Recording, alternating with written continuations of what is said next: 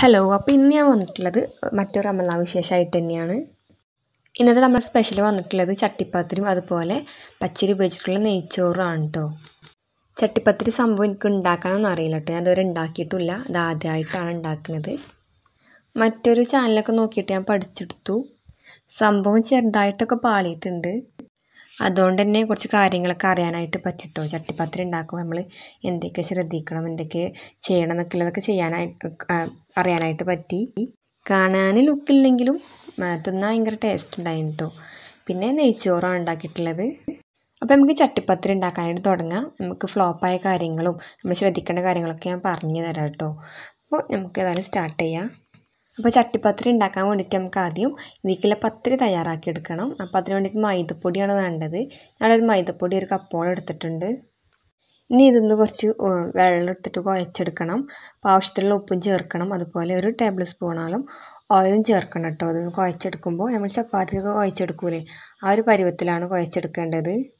പത്തിരി അധികം വേണമെങ്കിൽ കുറച്ചുകൂടി പൊടി ചേർക്കാം കേട്ടോ. അപ്പോൾ ഇതോടെ രണ്ടോ മൂന്ന് രണ്ട് മൂന്നാലിൽ ഉണ്ടാക്കിയെടുക്കുക ഈ ഒരു മാവ് കൊണ്ട് തന്നെ എന്നിട്ട് ഇതൊന്ന് പതിനഞ്ച് മിനിറ്റോളം റെസ്റ്റ് ചെയ്യാനായിട്ട് വെക്കണം. അപ്പോൾ ഇതൊന്ന് അടിച്ച് വെക്കാം. അങ്ങനെ പതിനഞ്ച് മിനിറ്റോളം റെസ്റ്റ് ചെയ്യാനായിട്ട് വെച്ചിട്ടുണ്ട്. നമുക്കിതൊക്കെ ഒന്ന് പരത്തിയെടുക്കണം.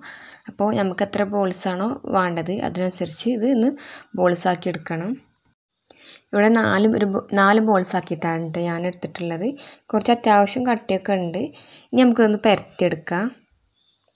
അത് ഞാൻ പ്രസ്സിലിട്ടുങ്ങാണ്ട് ഒരു ചെറിയ ചെറിയ വട്ടാക്കി എടുക്കുകയാണ് കേട്ടോ ഈ നാല് ബോൾസും അതിനുശേഷം ഇതൊന്ന് പരത്തിയെടുക്കണം. അപ്പോൾ പരത്തിയെടുക്കുമ്പോൾ ശ്രദ്ധിക്കേണ്ടതെന്ന് വെച്ചാൽ നമ്മൾ രണ്ട് ബോൾസ് ഒന്നിച്ചാണ് കേട്ടോ പരത്തിയെടുക്കുന്നത് അപ്പോൾ അതോ അതോ ആ രണ്ട് ബോൾസ് മീൻസ് രണ്ട് ഇതുപോലെ നമ്മൾ പരത്തിയെടുത്തിട്ടില്ല.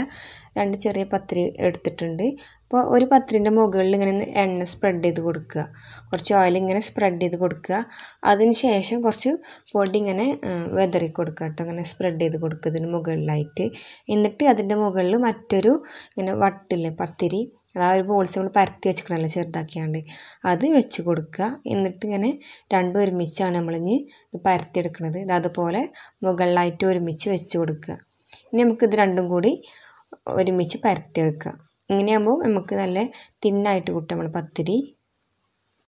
ഇതുപോലെ തന്നെയാണ് മറ്റേതും ചെയ്തെടുക്കേണ്ടത്. ഇനി നമുക്ക് രണ്ടെണ്ണം കൂടി ഉണ്ട്. അപ്പോൾ നമ്മൾ ഈ ഒരു വലുപ്പത്തിലാണ് ഇവിടെ പത്തിരി തയ്യാറാക്കിയിട്ടുള്ളത്. കാരണം നമ്മൾ പാത്രത്തിന്റെ അളവിനനുസരിച്ചാട്ടോ ഇവിടെ പത്തിരിന്റെ വലുപ്പം സൈസ് കൂട്ടേണ്ടതും കുറക്കേണ്ടതൊക്കെ അപ്പോൾ ഞാൻ ഇവിടെ രണ്ടും ഇതുപോലെ പരത്തിയെടുത്തിട്ടുണ്ട്. ഇനി ഇതൊന്ന് ചു ചുട്ടെടുക്കുക അപ്പോൾ അതിനുവേണ്ടി ഞാൻ ചട്ടി ചൂടാക്കിയിട്ട് ഇത് ഇട്ട് കൊടുത്തിട്ടുണ്ട് ഇതിലേക്ക്. ഇനി അതൊന്ന് ഇങ്ങനെ പൊള്ളച്ചിങ്ങനെ വരുന്ന സമയത്ത് ചെറുങ്ങനെ പൊള്ളച്ച് വരും. അപ്പോൾ ഒന്ന് മറിച്ചിട്ട് കൊടുക്കുക അങ്ങനെ രണ്ടും ഇതുപോലെ ചുട്ടെടുക്കുക കേട്ടോ അപ്പോൾ ഇവിടെയൊന്നും നമ്മൾ ഫ്ലോപ്പ് ആയിട്ടില്ല. ഇവിടെയൊക്കെ നല്ല ഉഷാറായിട്ട് തന്നെ വന്നു. നമ്മൾ പത്തിരിയൊക്കെ നല്ല ഉഷാറിൽ തന്നെ വന്നു.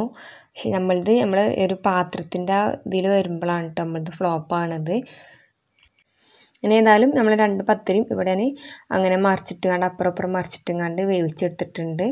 നമ്മൾ എണ്ണയൊന്നും ഒഴിക്കേണ്ട ആവശ്യമില്ല കേട്ടോ ഇതിങ്ങനെ ചുട്ടെടുക്കുന്ന സമയത്ത്. പിന്നെ എന്താ വെച്ചാൽ നമ്മൾ കരിയാതെ നോക്കണം. ഇടയ്ക്കിടയ്ക്ക് ഇങ്ങനെ മറിച്ചിട്ട് കൊടുക്കണം. തീ ഓവറാവും ചെയ്യരുത്. അപ്പം അങ്ങനെ നമ്മൾ രണ്ടും കൂടെ ചുട്ടെടുത്തിട്ടുണ്ട്. ഇത് രണ്ടും ഇനി സെപ്പറേറ്റ് ചെയ്യുക കാരണം നമ്മളിത് രണ്ടും ഒരുമിച്ചാണല്ലേ? ഓരോ ഒരു അപ്പത്തുമ്പോൾ രണ്ടെണ്ണം വെച്ചിട്ടാണ് നമ്മളിത് പരത്തിയെടുത്തിട്ടുള്ളത്. അങ്ങനെ അത് ഇങ്ങനെ സെപ്പറേറ്റ് ചെയ്ത് മാറ്റുക. അപ്പം അങ്ങനെ നാല് പത്തിരി മൊത്തത്തിൽ നമുക്ക് കിട്ടിയിട്ടുണ്ട്. ഇനി നമുക്കിനി ഇതിലേക്കുള്ള കൂട്ട് തയ്യാറാക്കാം. അപ്പോൾ അതിന് വേണ്ടിയിട്ട് ഒരു ചട്ടി ഞാൻ അടുപ്പത്ത് വെച്ചിട്ടുണ്ട്. അതിലേക്ക് ചൂടായി വരുമ്പോൾ വെളിച്ചെണ്ണ ഒഴിച്ചു കൊടുത്തു. എന്നിട്ട് അതിലേക്ക് ഒരു അര ടീസ്പൂണോളം ഞാൻ അര ടേബിൾ സ്പൂണോളം ഇഞ്ചിയും വെളുത്തുള്ളിയും ചതച്ചത് ചേർത്ത് കൊടുത്തിട്ടുണ്ട്. കാരണം നമ്മളത് അധികമൊന്നുമില്ല മസാല അതുകൊണ്ടാണ് അത്ര ചേർത്തത്. പിന്നെ കുറച്ച് കറിവേപ്പില ചേർത്തിട്ടുണ്ട്. ഞാൻ ഒന്ന് വഴറ്റിയെടുക്കുക. ഇതിന്റെ പച്ചമണക്കൊന്ന് മാറുമ്പോൾ ഇതിലേക്ക് നമുക്ക് സവാള ചേർത്ത് ചേർത്തെടുക്കണം ചെറുതാക്കി അരിഞ്ഞിട്ടുള്ള ഒരു രണ്ട് സവാള ഇതിലേക്ക് ചേർത്ത് കൊടുത്തിട്ടുണ്ട്. എന്നിട്ട് ഇത് ഇനി കുറച്ച് ഉപ്പൊക്കെ ഇട്ടുകൊണ്ട് ഇത് നന്നായിട്ടൊന്ന് വഴറ്റിയെടുക്കണം ഉള്ളി പെട്ടെന്ന് വയന്ന് കിട്ടാൻ വേണ്ടിയിട്ട് നമുക്കൊന്ന് അടച്ച് വെച്ചിട്ട് വേവിച്ചെടുക്കാം ഒരു രണ്ടോ മൂന്നോ മിനിറ്റ് ഒന്ന് അടച്ച് വെച്ചിട്ട് വേവിച്ചെടുക്കാം നമ്മൾ രണ്ട് മൂന്നോ മിനിറ്റൊക്കെ ഞാൻ അടച്ച് വെച്ച് വേവിച്ചെടുത്തിട്ടുണ്ട്. അപ്പോൾ ഉള്ളി വെന്ത് വന്നിട്ടുണ്ട്. ഇനി ബാക്കിയുള്ള മസാലപ്പൊടികളൊക്കെ ചേർത്തെടുക്കുക. അതിലേക്ക് മഞ്ഞൾപ്പൊടി മല്ലിപ്പൊടി അതുപോലെ മുളകും പൊടി കുറച്ച് ചിക്കൻ മസാലയൊക്കെ ചേർത്തിട്ടുണ്ട്.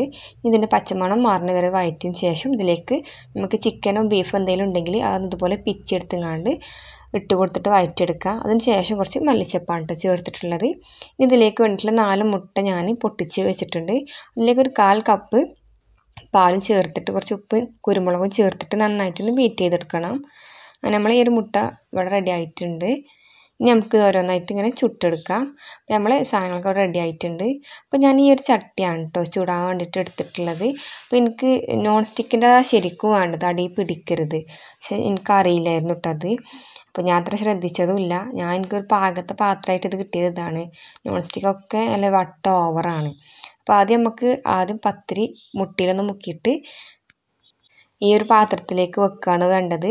അതിന് മുന്നായിട്ടൊന്ന് നെയ്യ് തടവി കൊടുക്കണം കേട്ടോ ഈ ചെമ്പട്ടിയിൽ എന്നിട്ട് വേണം ആദ്യത്തെ പത്തിരി മുട്ടിയിലൊന്ന് മുക്കുക. അതിന് ശേഷം ഈ ചെമ്പട്ടിയിൽ വെച്ചെടുക്കുക. എന്നിട്ട് നമ്മൾ ഈ മസാലക്കൂട്ട് വെച്ചെടുക്കുക. അതിന് ശേഷം അടുത്ത പത്തിരി എടുക്കുക. ഈ മുട്ടന്റെ ഈ ഒരു ഇതിൽ മുക്കിയിട്ട് ഇതിന്റെ മുകളിൽ വെച്ച് കൊടുക്കുക അപ്പം ഇങ്ങനെ നേർത്തി കൊടുക്കുക. അതിന് ശേഷം വീണ്ടും മസാല വെച്ച് കൊടുക്കുക. അതിന് മുകളിൽ വീണ്ടും ഈ പത്തിരി ഇതുപോലെ മുക്കുക. അങ്ങനെ ചെയ്ത് കൊടുക്കുക. ലാസ്റ്റ് നമുക്ക് ഈ ബാലൻസ് വരുന്ന മുട്ട ഇതിന്റെ അരു അരു അരികത്ത് കൂടെ ഇങ്ങനെ ഒഴിച്ച് കൊടുക്കുക കേട്ടോ ഇതിന്റെ ഗ്യാപ്പൊക്കെ ഒന്ന് തീരാൻ വേണ്ടിയിട്ടാണ് ഇങ്ങനെ ചെയ്യണത്. ഒരു അരു അരുവിലൂടെ മൊത്തത്തിൽ ഇങ്ങനെ ഒഴിച്ച് കൊടുക്കുക. നമ്മളിത് ഇതുവരെയൊക്കെ നല്ല കറക്റ്റായിട്ട് തന്നെ വന്നത് കേട്ടോ നമ്മൾ പത്രയായാലും മസാല ആയാലും എല്ലാം കറക്റ്റിലാണ് വന്നത്. പക്ഷെ നമ്മൾ പാത്രത്തിന് മാത്രമേ ഉള്ളൂ കേട്ടോ അപ്പോൾ നോൺ സ്റ്റിക്ക് ഒക്കെ ഇവിടെ വട്ടം ഓവറാണ് അപ്പോൾ പിന്നെ ഞാൻ അത്ര ഓർത്തതും ഇല്ല. പിന്നെ വട്ട അത്രക്കും വേണ്ടിയിട്ടുള്ള പത്തിരിയൊക്കെ നമ്മൾ പരത്തിയെടുക്കണം. പിന്നെ ഞാൻ ഇതിൽ ഉണ്ടാക്കാമെന്നൊക്കെ വിചാരിച്ചു. പിന്നെ ഉണ്ടാക്കിയപ്പോൾ പിന്നെ പകുതി എത്തിയപ്പോഴാണ് പകുതി ആയപ്പോൾ ഇതിങ്ങനെ അടി പിടിച്ചു. അപ്പോൾ എനിക്ക് മനസ്സിലായത്. ഏതായാലും കരിഞ്ഞ് പോയിട്ടൊന്നുമില്ല. നമുക്കിന്നിത് വേവിച്ചെടുക്കാം. ഡബിൾ ബോയിലിംഗ് ആണ്. അപ്പോൾ ആദ്യം ഒരു ചട്ടി വെച്ചിട്ടുണ്ട്. അതിന്റെ മുകളിലായിട്ടാണ് ഇത്ര ഇത് വെച്ച് കൊടുക്കേണ്ടത്.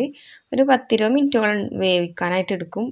ഹൈ ഫ്ലെയിമിൽ ഇട്ടു ആദ്യം രണ്ട് മിനിറ്റ് പിന്നെ ലോ ഫ്ലെയിമിൽ ഇട്ടു. പിന്നെ ഇത് ഞാൻ വേറെ ഇതിന്റെ മുകൾ വശം വെന്ത് കിട്ടൂല കേട്ടോ ആ സമയത്ത്. നമ്മൾ മറ്റൊരു പാനിലിട്ട് അതിന്റെ മുകൾ വശം ഒന്ന് മറിച്ചിട്ട് കണ്ട് വേവിക്കണം. അങ്ങനെ നമ്മൾ ചട്ടിപ്പത്തിരി ഇവിടെ റെഡി ആയിട്ടുണ്ട്. കാണാൻ ലുക്കില്ലെങ്കിലും കഴിക്കാനായിട്ട് ഭയങ്കര ടേസ്റ്റ് ചെയ്യും കേട്ടോ പിന്നെ തയ്യാറാക്കുമ്പോൾ കുറച്ച് കാര്യങ്ങളൊക്കെ ശ്രദ്ധിക്കണം എന്നൊക്കെ മനസ്സിലായി.